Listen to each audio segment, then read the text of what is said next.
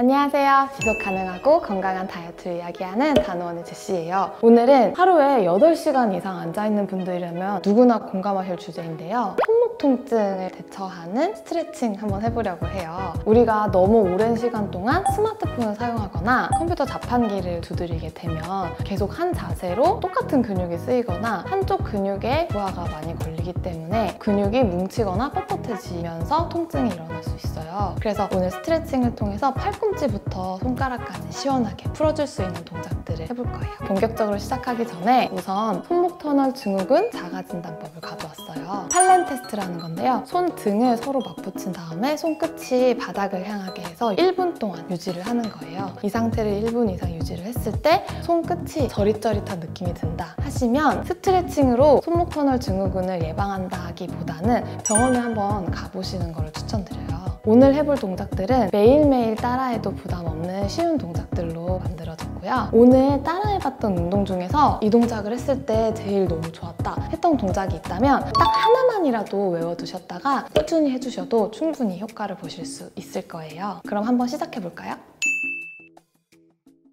오른쪽 손을 왼쪽 어깨에 올리고 왼쪽 손을 쭉 펴줄게요.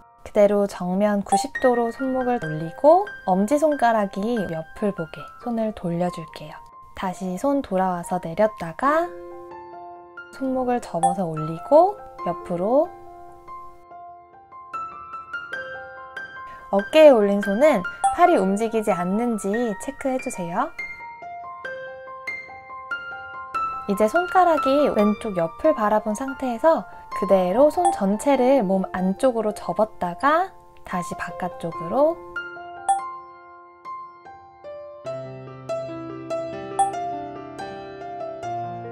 이제 다시 손등이 정면을 바라보게 돌아왔다가 엄지손가락을 손 안쪽으로 접어주세요. 그 상태로 손을 몸 뒤쪽으로 90도 접은 상태에서 손가락 전체가 옆을 보도록 손을 돌려주세요.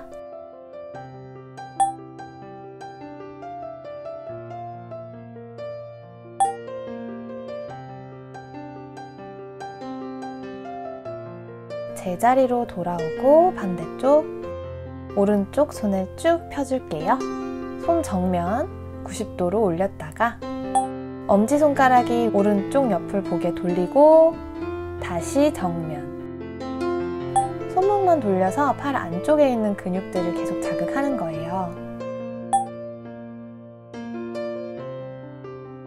이번엔 엄지손가락이 오른쪽 옆을 바라본 상태에서 손 전체를 몸 안쪽으로 접었다가 다시 바깥쪽으로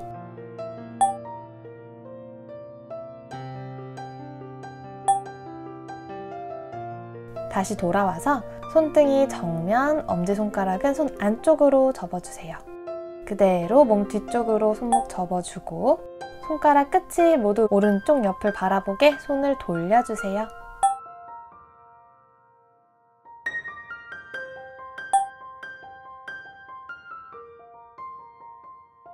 제자리로 돌아오고 이제 앞바다리로 편안하게 앉아주세요. 양손을 양옆으로 쭉 뻗어주세요.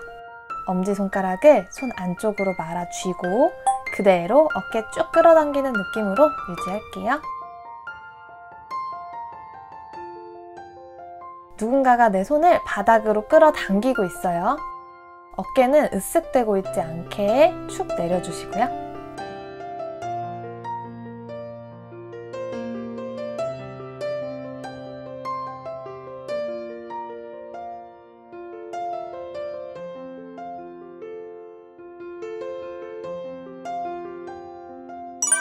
이번엔 네 손가락을 먼저 말아서 쥐고 엄지손가락으로 주먹을 줄게요.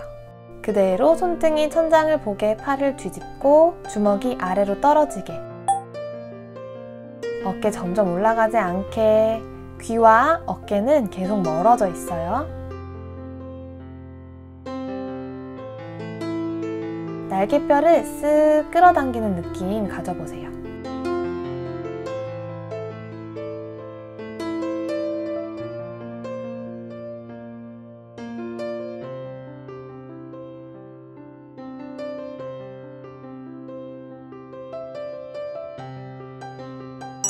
마지막 동작 해볼게요. 테이블 자세에서 손목을 돌려서 손가락 끝이 내 무릎 바라보게 해주세요.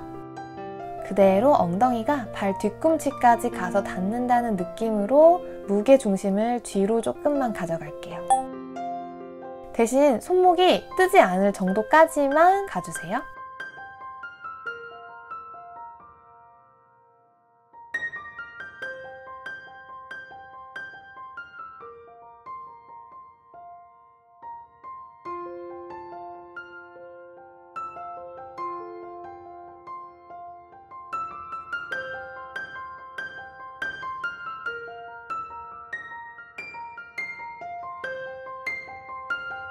이번엔 손바닥이 하늘을 바라보게 손을 뒤집어 볼게요. 마찬가지로 엉덩이로 무게중심 가져가 볼게요. 손목은 뜨지 않을 정도까지만 무게중심 뒤로 보내주세요. 30초 갈게요.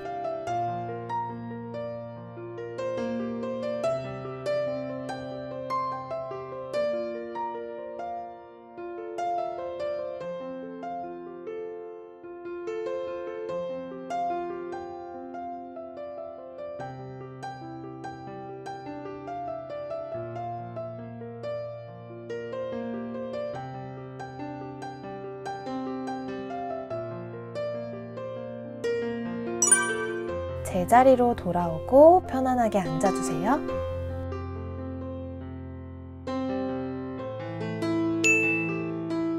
이번엔 책상 위에서 언제나 할 수 있는 간단한 마사지 해볼 건데요. 팔꿈치 전체가 책상에 닿도록 팔을 내려놓고 반대쪽 팔로 반죽을 밀듯이 천천히 마사지 해줄 거예요.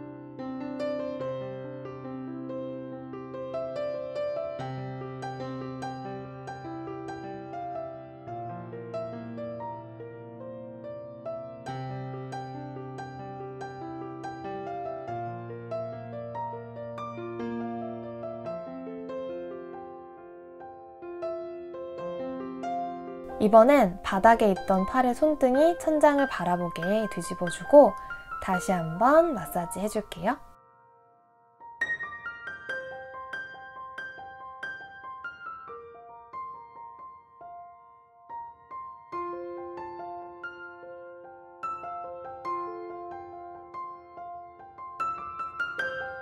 반대쪽도 해볼까요? 밀대로 반죽을 쭉쭉 밀어내듯이 위에서부터 아래로 천천히 내 뭉쳐있던 팔 근육들이 시원하게 풀어지는 걸 느끼면서 내려가 보세요.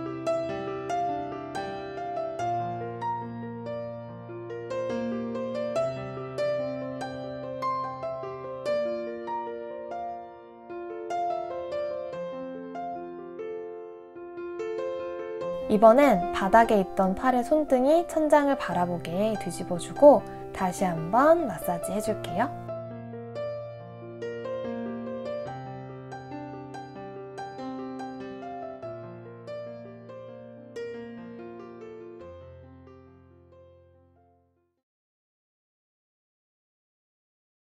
수고하셨습니다. 오늘 스트레칭 어떠셨어요? 팔목이 조금 가벼워지고 시원해지신 게 느껴지시나요? 이런 일상적인 손목 통증의 원인은 우리가 손가락만 사용을 하는 게 아니라 이 손가락을 사용을 할 때 손목 그리고 팔꿈치에 있는 근육들도 같이 사용이 되거든요. 실제로 여러분들이 팔꿈치 위에다가 손바닥을 대고 주먹을 폈다 접었다 폈다 접었다 해보면 이쪽 근육이 움직여지는 게 느껴지실 거예요. 그래서 사실은 손목이 통증이 있다는 거는 이 손목만 문제가 있는 게 아니라 경추에 척추에서부터 이렇게 이어져서 팔꿈치, 손목, 손가락을 지나는 신경 중에 어느 한 곳이 눌려 있거나 뻣뻣해져 있을 가능성이 높아요. 그리고 또 하나 저는 평소에는 손목이 별로 안 아픈데 운동을 하면 손목이 아파요 하시는 분들이 있어요. 예를 들면 plank라든지 arm walk 같은. 운동 때문에 생기는 손목 통증은 체중의 부하가 손목에 과도하게 실리는 경우도 있고 운동의 자극점을 제대로 찾지 못해서 손목이 과하게 일을 하기 때문일 수도 있어요. 이런 운동 중에 손목, 무릎, 발목처럼 특정 부위가 자주 아프거나 통증이 있다면 댓글로 달아주시면 다음 영상에서 더 자세히 자세하게 한번 다뤄볼게요. 그럼 오늘도 다노TV와 함께 내 몸을 사랑하고 아껴주는 하루 보내봐요. 그럼 안녕!